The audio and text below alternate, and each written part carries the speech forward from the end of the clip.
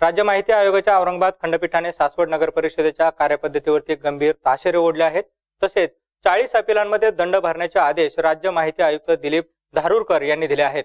यामुळे स्वच्छ सर्वेक्षण अभियानामध्ये प्रथम क्रमांक पटकवलेल्या महापालिकेचा हाही एक विक्रम राज्यामध्ये प्रस्थापित झालाय.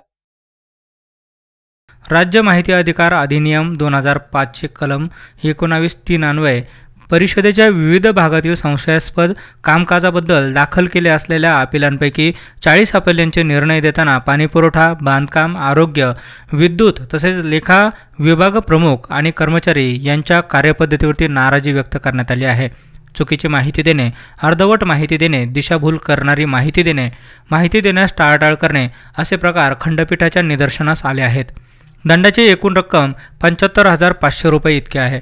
यामध्ये नगरपरिषदेतील माजी मुख्य अधिकाऱ्यांसह इतर कर्मचारी अधिकाऱ्यांचा समावेश आहे.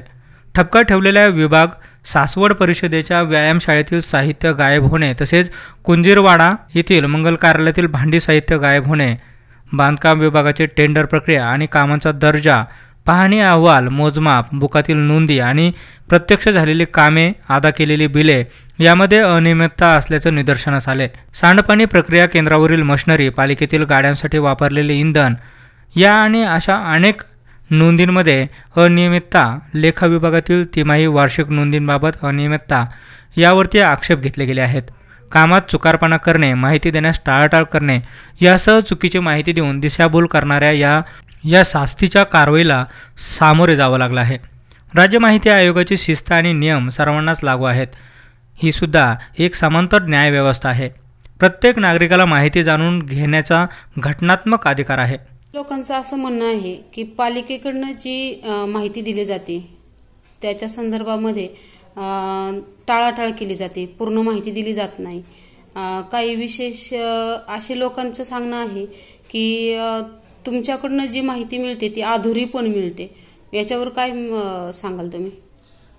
कदाचित ह्यापूर्वी ज्या अर्थी माहिती अधिकाऱ्यांनी एवढा मोठा दंड ठोठवला आहे तर ह्यापूर्वी त्या बाबी नक्कीच घडत असतील. परंतु मागील काही एक दोन वर्षामध्ये अशा प्रकारच्या बाबी काही घडलेल्या नाही आहेत इथे. तर आता पूर्णपणे माहिती आम्ही सर्व नागरिकांना देतो.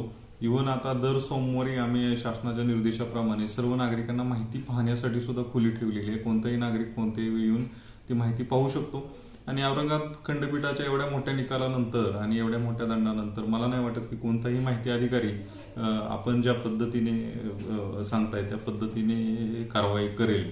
तर सर्व माहिती सर्वांसाठी तेव्हाही खुली होती. आजही खुली आहे. कोणतेही नागरिक सोमवारच्या दिवशी दुपारनंतर येऊन माहिती पाहू शकतात. माहितीच्या अधिकारामध्ये जे अर्ज येतात आता ते पूर्ण अर्ज एका महिन्याच्या आत निकाली काढले जातात. आम्ही रजिस्टरही त्या पद्धतीचं ठेवलेलं आहे. आणि जे अपील होतात प्रथम अपील अधिकारी मी स्वतः आहे तर माझ्याकडे सगळ्या अपिलांची व्यवस्थितरित्या सुनावणी होते.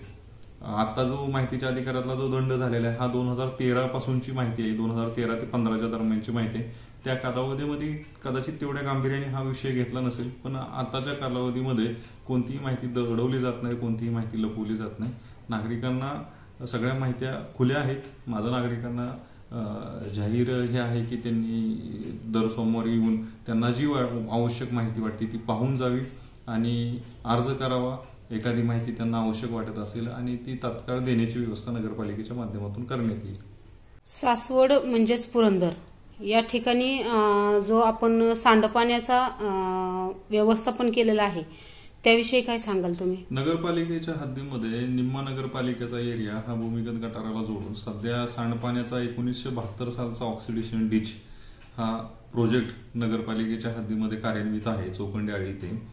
हा ऑक्सिडेशन डिच हा खूप जुना आहे. नगरपालिकेने त्याचे वेळोवेळी नूतनीकरण करण्याचा प्रयत्न केला आहे आणि नूतनीकरण केलेले आहे. तरी सुद्धा त्या खूप जुना असल्या कारणाने त्याची वयोमर्यादा संपल्याच्या असल्या कारणाने त्यातून जे पाण्याचं शुद्धीकरण होतं सांडपाण्याचं त्याचे जे बीओडी आणि सीओडी लेवल आहे तेवढी मेंटेन नगरपालिकेला करता येत नाही. त्यामुळे नगरपालिकेला मागील कित्येक वर्षापासून ही समस्या भेडसवत होती. तर ह्या समस्यावरती नगरपालिका मार्ग काढत आहे.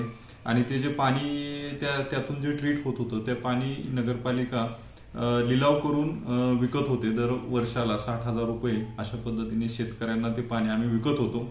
काही शेतकरी ते पाणी घेऊन जात होते.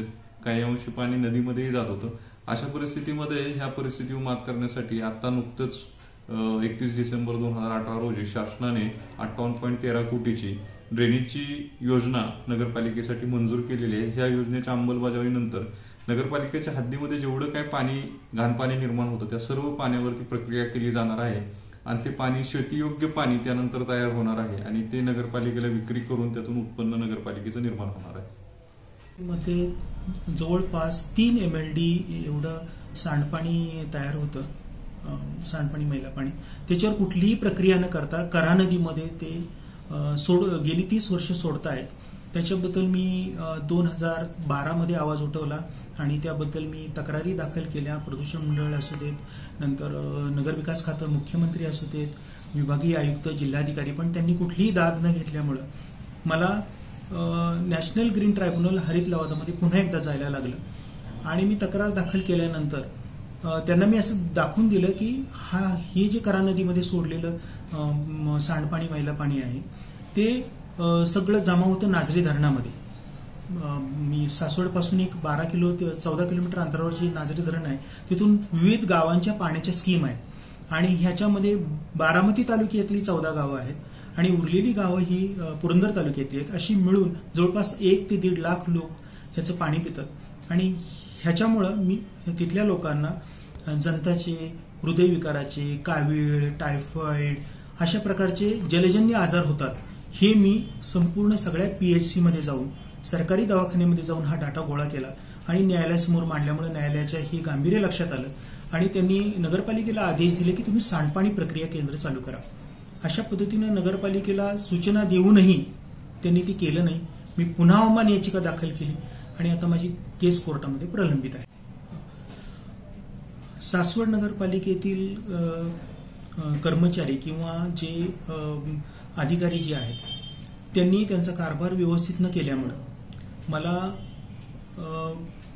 ऑडिट रिपोर्टचा आधार घेऊन माझ्या असं लक्षात आलं की गेली तीस वर्ष त्यांनी कंप्लायन्स जो ऑडिट रिपोर्टला जो वसूल पात्र रक्कम जी ठेकेदारांकडनं वसूल करायला पाहिजे होती ती न केल्यामुळं बऱ्याचशा व- वसुली न करता येणाऱ्या रकमा तशाच राहून गेल्या कारण ते ठेकेदार हे गाव सोडून निघून गेले किंवा काही जण मृत पावले. हे व्यक्ती आता सापडू शकत नाहीत. अशा पद्धतीनं कोट्यवधी रुपयाचं नगरपालिकेचं नुकसान झालं. त्याबद्दल मी तक्रार लोकायुक्त मुंबई यांच्याकडे तक्रार दाखल केली. पण त्यांची मर्यादा असल्यामुळं त्यांनी फक्त तीन वर्षाची ऑडिट रिपोर्ट मला मागितली आणि तीन वर्षामधला लेखाजोखा मागितला. त्यांच्यासमोर तो ठेवल्यानंतर असं लक्षात आलं की ज्या त्या तत्कालीन जी मु- मुख्याधिकारी इथं कार्यरत होते त्यांनी त्यांनी ह्या वसुली करणं अपेक्षित होतं. पण त्यांनी त्यांच्या कामामध्ये कसूर केल्यामुळं ह्या वसुली झाल्या नाहीत. त्यामुळे एवढी मोठी रक्कम सत्तर कोटीच्या आसपास जवळपास वसूलपात्र रक्कम नगरपालिकेची आहे. ती वसूल झालेली नाहीये. आहे नवीन आलेले जे मुख्याधिकारी आहेत त्यांना त्यांनी आदेश दिले की तीन महिन्यामध्ये निदान एका वर्षाची तरी तुम्ही वसुली करा. तर जवळपास सत्तर ते ऐंशी टक्के वसुली आलेल्या हे जळक साहेबांनी केलेली आहे. आणि उरलेली मात्र रक्कम अजून जशी तशी पेंडिंग आहे. केस अजूनही प्रलंबित आहे. लोकाय